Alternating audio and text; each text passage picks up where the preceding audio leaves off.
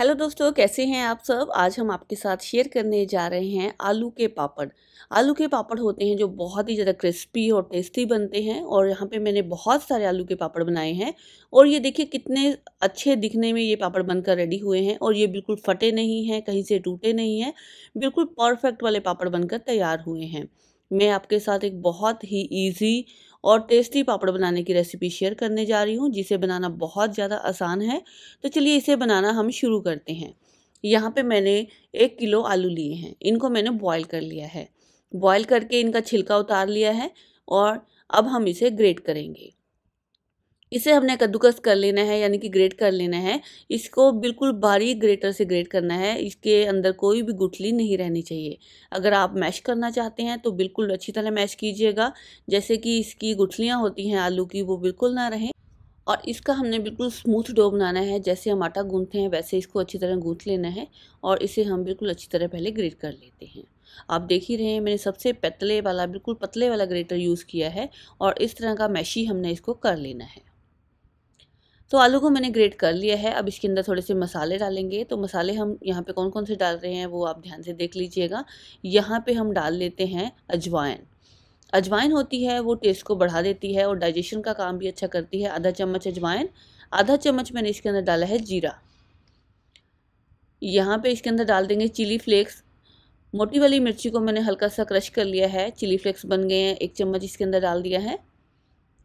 यहाँ पे इसके अंदर डालेंगे। अब हम नमक नमक आप इसके अंदर बहुत ज़्यादा मत डालिएगा आधा चम्मच ही लगना है। अगर ज़्यादा डाला तो इसमें कड़वापन आ जाता है। यहाँ पे इसके अंदर थोड़ा सा धनिया डाल लेते हैं। धनिया आप अवॉइड करना चाहते हैं तो कर सकते हैं, लेकिन इससे थोड़ा कलर देखने में अच्छा लगता है पापड़ का, जब पापड़ बन जाता है। अब हम इसे अच्छी तरह नीड कर लेंगे। डो हमारा बन चुका है। मैंने इसको बहुत अच्छी तरह नीड कर लिया है। इस तरह के हमने छोटे छोटे इसके बॉल्स बना लेने हैं। और जब ये बाइंड हो रहा है, इसका मतलब है कि डो आपका परफेक्ट बन चुका है। आप अपने हाथों में हल्का सा ऑयल लगाइए और नींबू के आकार के छोटे छोटे बॉल्स बना लीजिए। सारे बॉल्स अगर आप एक बार रेडी करके रख लोगे तो फटाफट से दो से तीन लोग आपके घर में होंगे। पापड़ फटाफट बन जाते हैं, सौ पापड़ सिर्फ़ पाँच मिनट में बनकर रेडी हो जाते हैं। यहाँ पे शीट लीजिए एक शीट के ऊपर थोड़ा सा ऑयल लगा लीजिए, ताकि जो डो है हमारा, ये चिपके ना बिल्कुल भी।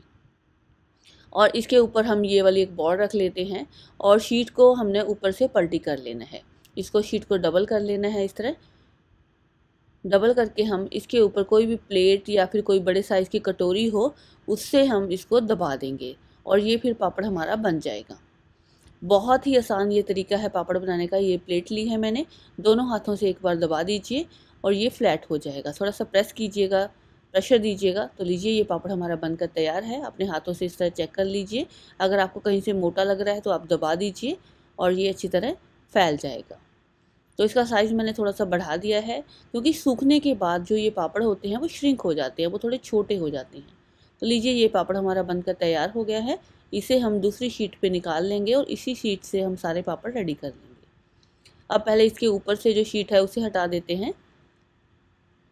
इस तरह हम इसको थोड़ा धीरे धीरे हटाएँगे ताकि ये जो पापड़ है हमारा ये फटे ना। अगर ऐसे कुछ उठ रहा है साइड से तो आप पापड़ को दोबारा से दबा दीजिए और ये जो शीट है, ये इजीली फिर निकल जाएगी। ये थोड़ा सा मैंने पतला कर दिया है। अगर आप थोड़ा सा मोटा करना चाहें तो कर सकते हैं। तो लीजिए, एक पापड़ हमारा तैयार है। अब दूसरी शीट के ऊपर मैंने इसको इस तरह पलटी कर दिया है और एक बार हम थोड़ा सा प्रेस करेंगे और ये शीट हमारी इस तरह निकल जाएगी। लीजिए एक पापड़ हमारा रेडी है। इसी तरह हम दूसरी शीट के ऊपर सारे पापड़ बनाकर डाल देंगे। अगर आप डायरेक्टली इसी शीट के ऊपर भी बनाना चाहते हैं तो बना सकते हैं। तो यहाँ पे एक लेमन जैसा गोल पेड़ा रख लेंगे, उसको थोड़ा सा प्रेस करेंगे और उसके ऊपर से शीट को टर्न करेंगे और फिर हम दोबारा से प्लेट से प्रेस कर देंगे। और प्लेट के बाद प्रेस करने के बाद आपने हाथों से थोड़ा सा इसको दबाना है, ताकि इसमें जो कहीं भी बीच में मोटा रह जाए, वो फ्लैट हो जाए अच्छी तरह। तो लीजिए ये पापड़ भी हमारा अच्छी तरह सेट हो गया है। अब हम इसके ऊपर का शीट वाला हिस्सा निकाल देंगे और जो हमारी मेन सीट है, जिसको हमने धूप में डालना है सूखने के लिए, उसके ऊपर रख कर इसको उतार लेते हैं। इसी तरह हमने सारे पापड़ रेडी कर लेने हैं और मैं रेडी करके आपको दिखाती हूँ। लीजिए, पापड़ हमारे सारे बन गए हैं। एक किलो आलू में बहुत सारे पापड़ बनकर तैयार हुए हैं। साठ से सत्तर पापड़ ये हमारे बन गए हैं। अब हम इन्हें धूप में सुखा लेंगे। तकरीबन तकरीबन ये दो दिन की धूप में सूख जाएँगे। कई बार ऐसा होता है कि वेदर ख़राब होता है तो दो दिन की धूप लग जाएगी और आप इसे पंखे के नीचे भी सुखा सकते हैं अगर धूप नहीं है। आप पंखे के नीचे डाल दीजिए तो ये सूख जाएँगे इजीली अब देखिए, बिल्कुल गोल और परफेक्ट पापड़ हमारे बनकर रेडी हो गए हैं। साइज़ आप छोटा या बड़ा अपनी मर्ज़ी से कर सकते हैं। तो चलिए, अब हम इन्हें सूखने के लिए रख देते हैं। ये पापड़ हमारे सूख चुके हैं, दो दिन की धूप में ये परफेक्ट रेडी हो गए हैं। यहाँ पे इनका साइज़ आप देखिए, बिल्कुल परफेक्ट है और ये कहीं से टूटे भी नहीं हैं और ये बिल्कुल क्रिस्पी हो चुके हैं। आप इन्हें स्टोर करके रख सकते हैं। साल भर तक भी आप इसे एयर टाइट कंटेनर में डालकर रख लीजिए, ये ख़राब नहीं होंगे। अब हम इन्हें फ्राई करते हैं। फ्राई करने के लिए ऑयल मैंने गर्म होने के लिए रख दिया है।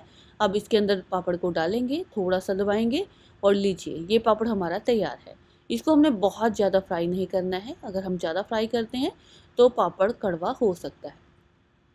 ये पापड़ बहुत ज़्यादा नहीं फूलते हैं, लेकिन ये क्रिस्पी बहुत होते हैं और टेस्टी भी बहुत होते हैं। इसी तरह आपने जितने पापड़ आपको चाहिए, उतने फ्राई कर लीजिए। बाकी के आप स्टोर करके रखिए। जब भी आपको नीड हो, जब किसी ने खाने हो, तब आप इसे फ्राई कर सकते हैं।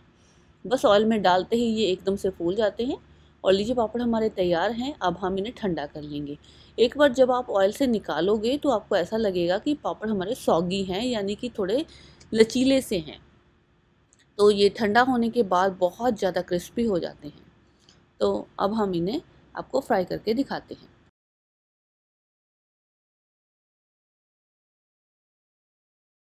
अब लीजिए पापड़ हमारे फ्राई हो चुके हैं। मैं आपको तोड़कर दिखाती हूँ। आप देखिए, कितने ज़्यादा क्रिस्पी और क्रंची से ये पापड़ बनकर तैयार हुए हैं। और भी ज़्यादा वीडियो आप देखना चाहते हैं तो आप हमारे पेज को फॉलो कर लीजिए। वहाँ पे आपको बहुत सारी वीडियोस मिलेंगी। ये वीडियो आपको कैसी लगी है, आप हमें बताइएगा ज़रूर। वीडियो देखने के लिए आपका धन्यवाद।